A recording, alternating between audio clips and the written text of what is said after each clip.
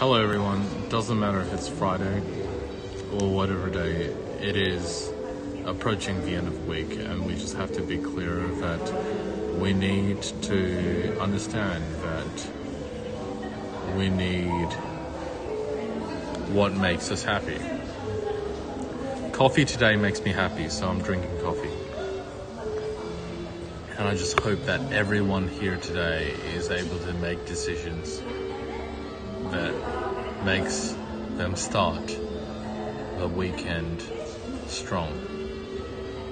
So, happy Friday, whether it's tea or coffee.